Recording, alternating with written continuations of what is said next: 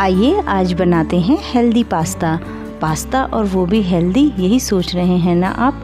जी हाँ वैसे तो हम वाइट पास्ता बनाने के लिए मैदे से वाइट सॉस बना करके तैयार करते हैं, लेकिन आज बिना मैदे से तैयार करेंगे क्रीमी फ्लेवर वाला वाइट पास्ता।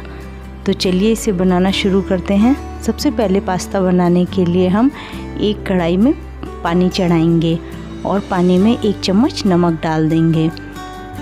और पानी को गर्म होने देंगे। पानी जब गर्म हो जाएगा तो हम उसमें पास्ता मिला देंगे। पास्ते को पकने में 12 से 15 मिनट का टाइम लगेगा और गैस का फ्लेम मैंने इस समय मीडियम रखा है।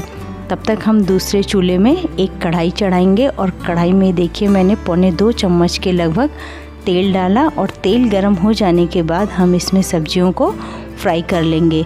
तो सबसे पहले मैंने ब्रोकोली डाली इसमें, क्योंकि इसको पकने में थोड़ा सा टाइम लगता है। तो हम सबसे पहले ब्रोकोली को दो मिनट फ्राई कर लेंगे। और जब हमारी ब्रोकोली फ्राई हो जाएगी तो हम इसमें बाकी की सब्ज़ियाँ भी मिला लेंगे। ये देखिए, मैंने अब इसमें प्याज डाला। प्याज को हमें इस तरीके से क्यूब के शेप में ही काटना है। और फिर डाली मैंने इसमें ये स्वीट कॉर्न। और अब ये हरी शिमला मिर्च है। इनको भी क्यूब के शेप में काटिएगा और ये येलो शिमला मिर्च है। इन्हें भी आप क्यूब के ही शेप में काटिएगा और ये पत्ता गोभी है। इन सभी सब्जियों को मैंने इस तेल में डाल लिया और अब इन्हें हम एक से डेढ़ मिनट तक फ्राई कर लेंगे और गैस का फ्लेम इस समय हम हाई रखेंगे, क्योंकि हमें सब्जियों को बहुत ज़्यादा नहीं पकाना है। हमें सब्जियों को हल्का सा ही फ्राई करना है ताकि इनका क्रंच बना रहे। जब तक हमारी सब्ज़ियाँ फ्राई होती हैं, हम इधर एक बार पास्ते को भी चेक कर लेते हैं। इसे चढ़ाए हुए मुझे सात आठ मिनट हो चुके हैं तो अभी ये नहीं पका है। इसे थोड़ी देर और टाइम लगेगा अभी पकने में। इधर हम इसके लिए वाइट सॉस बना करके तैयार कर लेंगे और आज मैं वाइट सॉस बनाने के लिए कुछ खास तरीके के इंग्रेडिएंट का यूज़ करूँगी। मैंने ये देखिए एक बड़ा बाउल लिया है और उसमें मैं डाल रही हूँ ये एक कटोरी दूध और मलाई। दूध और मलाई मैंने दोनों बराबर मात्रा में ली हैं और साथ में ली है मैंने ये एक कटोरी म्योनीज़ म्योनीज़ को भी मैं इस दूध और मलाई के साथ मिला लूँगी। और ये लिया है मैंने घर का जमा हुआ दही। इसे भी हम इसमें मिला लेंगे। बस एक बात का ध्यान रखना है हमें कि इसमें हमें खट्टे दही का यूज़ बिल्कुल भी नहीं करना है और इन तीनों चीज़ों को इस तरीके से फेंटते हुए हम इसका वाइट सॉस तैयार कर लेंगे।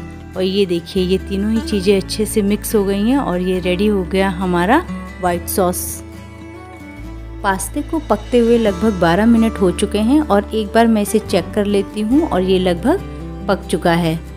पास्ते का पकना उसकी क्वालिटी पर भी डिपेंड करता है। अगर आप खुला पास्ता यूज़ करते हैं तो उसे पकने में थोड़ा ज़्यादा टाइम लगता है।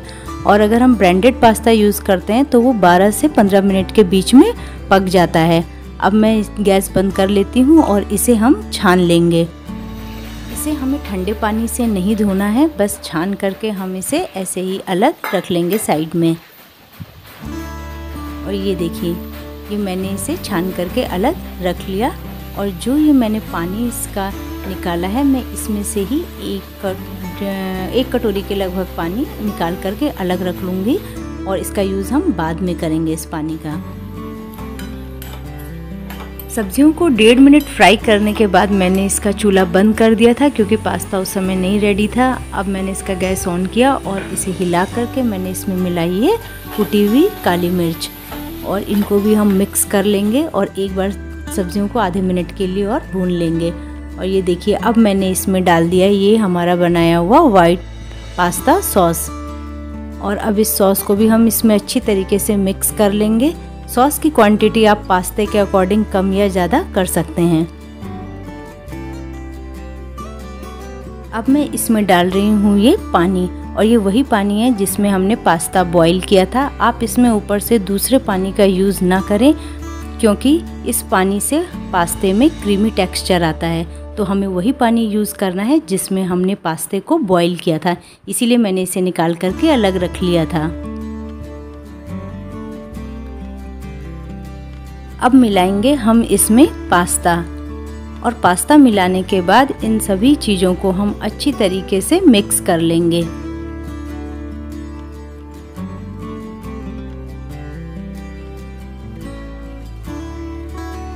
अब हम इसे दो से तीन मिनट तक मीडियम फ्लेम पर इस सॉस के साथ पकने देंगे। और ये देखिए, मैं आपको पास से दिखाती हूँ, इसका टेक्सचर कितना क्रीमी दिख रहा है ना? और इन सभी चीज़ों को हम इस तरीके से पका लेंगे थोड़ी देर। और अब मैं इसमें मिक्स कर रही हूँ ये ऑरिगेनो मेरे पास ऑरिगेनो था तो मैंने इसलिए इसे डाल दिया। अगर आपके पास ना हो तो आप बिल्कुल भी टेंशन ना करें, क्योंकि ऑरिगेनो से इसके टेस्ट में कुछ भी फ़र्क नहीं पड़ता है। अगर ऑरिगेनो नहीं है तो आप ऐसे ही इसे काली मिर्च डाल करके पका लीजिए। और ये देखिए, इसमें हमने इतनी सारी सब्ज़ियाँ डाली हैं। शिमला मिर्च, प्याज, ब्रोकोली, स्वीट कॉर्न वगैरह। तो इसलिए ये हेल्दी पास्ता बन करके हमारा तैयार हुआ है। बच्चों को पास्ता बहुत पसंद होता है, पर लेकिन वे इसे लंच बॉक्स में नहीं ले जा पाते, क्योंकि बच्चों को मैगी पास्ता वगैरह इस तरीके का जो खाना है वो स्कूल में अलाउड नहीं होता है। तो आप बच्चों को पास्ता इस तरीके से बना करके दें, उसमें ढेर सारी सब्ज़ियाँ डालें इस पास्ते की खासियत ये है कि ये ठंडा होने के बाद भी जमता नहीं है, क्योंकि हमने इसमें मैदे का यूज़ नहीं किया है। जो नॉर्मली पास्ता बनाने के लिए हम मैदे के वाइट सॉस का यूज़ करते हैं, वो पास्ता ठंडा होने के बाद जम जाता है और बिल्कुल भी अच्छा नहीं लगता है। मैंने इसमें थोड़ा रेड चिली फ्लेक्स डाल दिया है। आप अगर बच्चों के लिए बना रहे हैं तो इसमें रेड चिली फ्लेक्स का यूज़ ना करें। और ये देखिए, अब ये कितना कलरफुल और इतना बढ़िया दिख रहा है।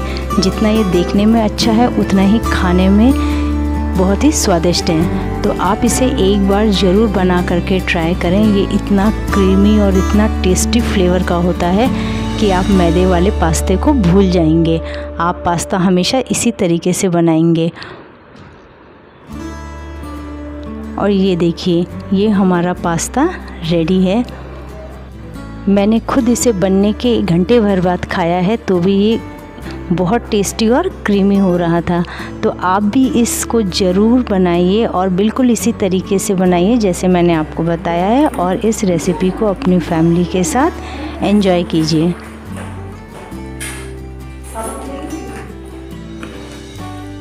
मज़ा आ गया। फ़र्स्ट क्लास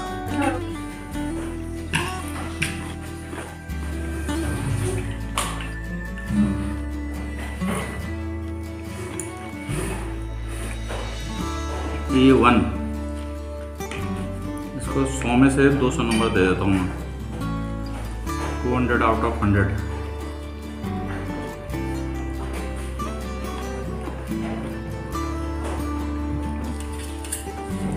कैसा है बढ़िया? मस्त।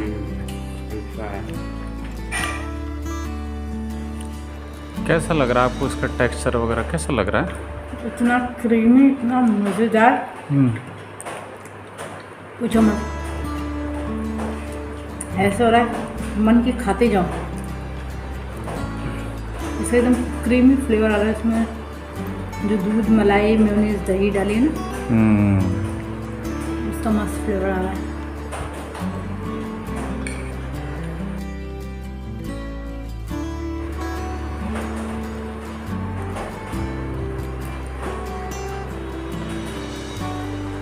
सब क्रीमी फ्लेवर से सब्ज़ियाँ भी अच्छी लग रही है।